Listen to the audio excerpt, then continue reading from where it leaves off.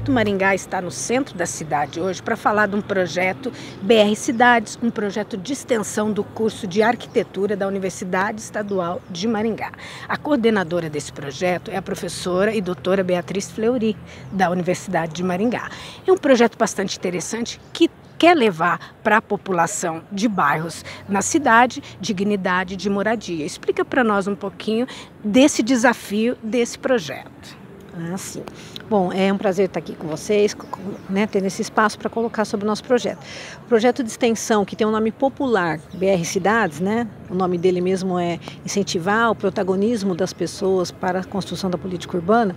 Uh, começou em 2019, 2020 e 21, quase 22, trabalhamos mais no ambiente remoto, mas nós tínhamos o propósito de uh, chegar até os territórios, né, os bairros mais periféricos, para aos poucos uh, construir coletivamente uma, uma, né, uma leitura de direitos e deveres urbanos, o quanto eles poderiam lutar e tem ferramentas hoje para isso, para a melhoria dos seus bairros, e que isso tem que ser e deve ser participativo.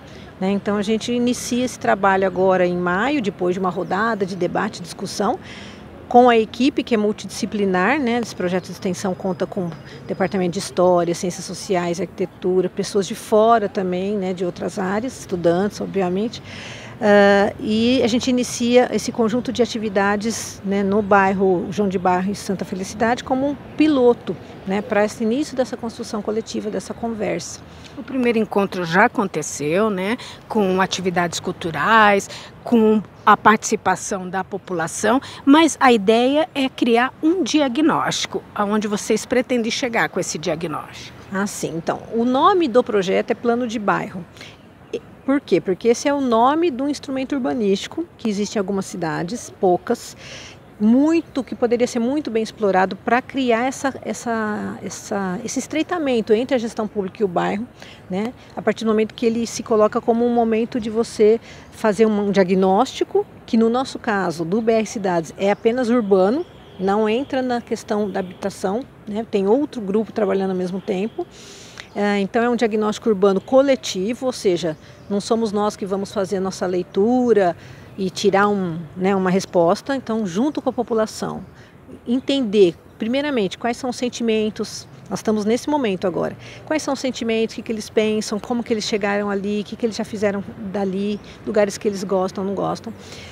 Depois a gente parte para uma rodada de leitura urbana mesmo dos problemas, sempre com atividades lúdicas, né, que eles possam entender a proposta de forma tranquila. Depois, e isso fecha a primeira etapa. A segunda etapa é trabalhar uma construção de propostas, de soluções viáveis. Algumas podem, como acontece em muitos planos de bairro, é, são, são construídas pela própria comunidade, são possíveis serem construídas pela própria comunidade.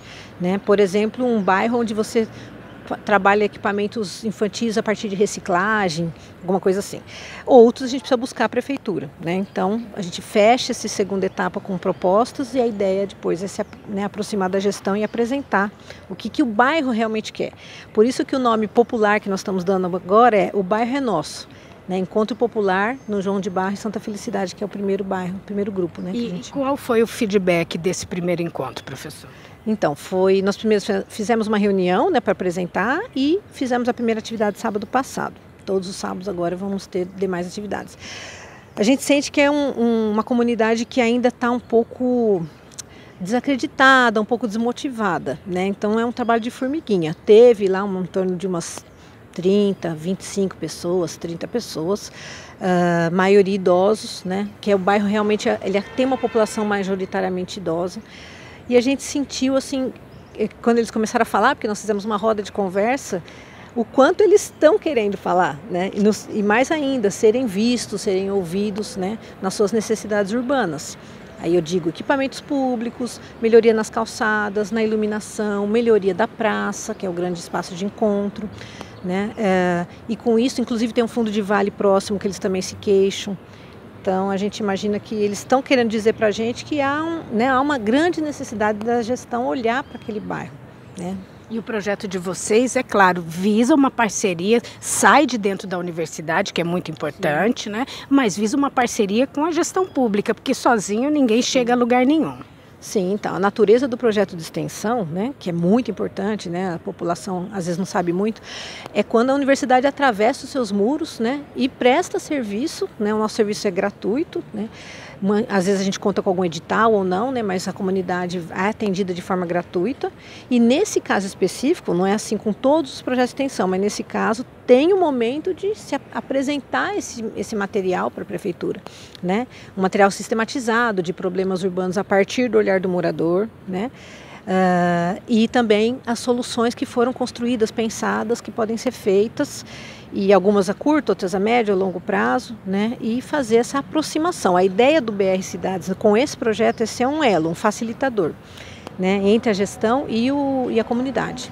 E os encontros continuam, né? Agora, amanhã terá um próximo encontro. É, a senhora pode convidar a população para participar e, e conta aqui para o nosso leitor qual é a programação que vocês vão ter no encontro de amanhã. É, então, o, nós tivemos o Teatro de Bonecos né, na semana passada. Amanhã nós vamos ter uma vivência musical né, com professores da UE, inclusive. A gente tem algumas parcerias também com outros departamentos. Os, as crianças vão construir brinquedos, vai ter uma vivência bem voltada para as crianças. E essas vivências que ainda vão acontecer no dia 3 de junho, 17 de junho e 24 de junho, com crianças e também vai ter com adultos, né? Porque nós vamos ter até aula de zumba, vamos ter chorinho é também no intuito de ir capturando essa leitura. Né? Então, são atividades lúdicas para ir capturando.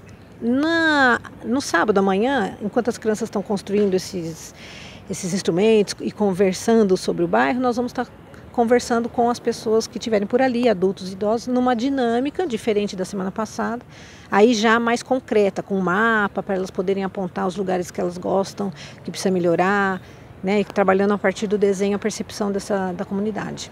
E qual avaliação a senhora faz desse projeto e da participação da população? Nós estamos com uma expectativa assim grande, né, de chegar até setembro, outubro com essa, com esse projeto no mínimo é, tendo provocado, né, alguma, alguns sentimentos, porque a população, no caso dessa, que foi a primeira escolhida, tem uma história.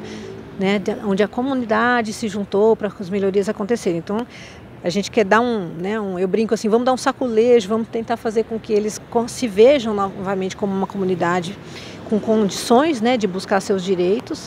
Uh, e a gente também vê com bons olhos, né, a, esse estreitamento que vai ser possível, né, onde a prefeitura e a universidade sempre tiveram um bom relacionamento, então a gente é, teria nossa, nosso objetivo atingido, né? Chegar até a comunidade, ajudar, fazer com que eles sejam ouvidos, vistos, dar voz. A gente convida, então, principalmente né, a comunidade do Santa Felicidade e do João de Barro, né, para estarem na Praça Zumbi dos Palmares, que é a praça central, que congrega os dois bairros, mas também a comunidade que já morou lá, que tem elos, né, porque visitam muito, que queiram também saber o que é esse trabalho, né, porque a gente está também tem uma proposta ali metodológica que está sendo construída. Então, quem, quem quer conhecer, né, para estar aos sábados, das 3 às 5 e meia, todos esses dias, do dia 27 de maio até dia 24 de junho, só vamos pular o sábado do feriado de Corpus Christi. O resto a gente vai estar lá esperando todo mundo.